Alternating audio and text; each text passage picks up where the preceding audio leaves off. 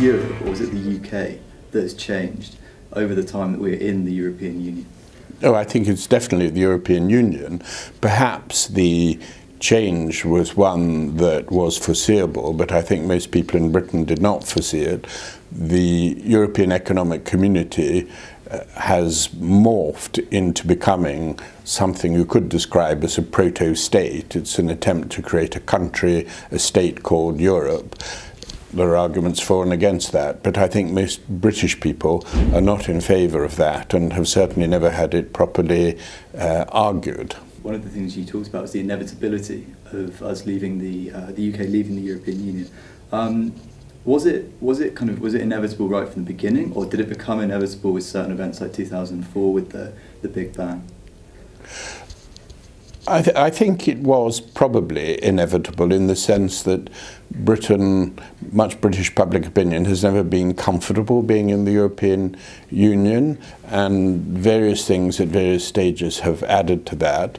But I think a lot of British people did not want to belong to uh, a federal Europe.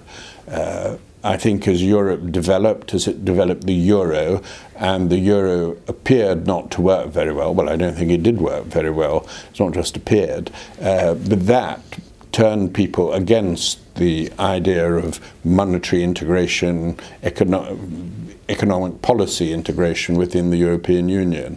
Uh, the way Greece was treated, I think, was alarming to many British people, so they felt we should keep our distance from this animal.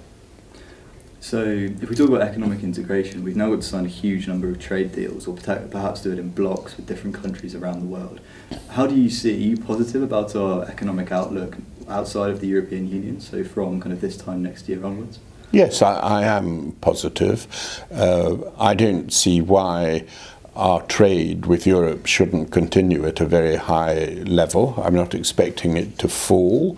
Uh, I look at a country like Switzerland, which uh, is not in the EU, which is more integrated with the EU than Britain is, uh, and exports per capita five times as much to the European Union as we do. I think it is perfectly possible to be outside the European Union and to trade at a very high level. Geography obviously determines trade to a very considerable extent, but it's, it's interesting that many countries that are not in the EU have increased their exports to the so-called single market much more quickly than Britain has. The United States actually sells more to the single market than we do. All right, it's a bigger economy by several times, but it is thousands of miles away. So it's not, in, it's not an insuperable object to sell into the single market. And I think the single market is slightly an emperor without any clothes.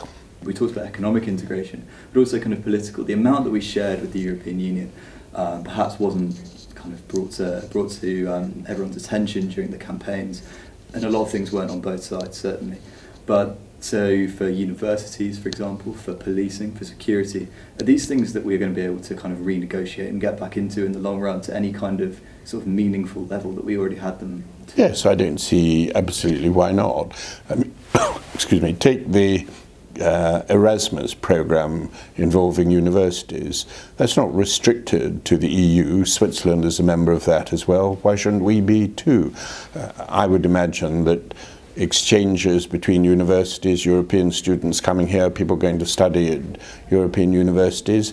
Uh, I mean, it would be very stupid if that didn't continue. It's in everybody's interest. You know, I believe as long as Europe is rational, and I appreciate there's a, certain element of hurt pride, but I would appeal to them to be rational and sensible and to do what is manifestly in everybody's interest.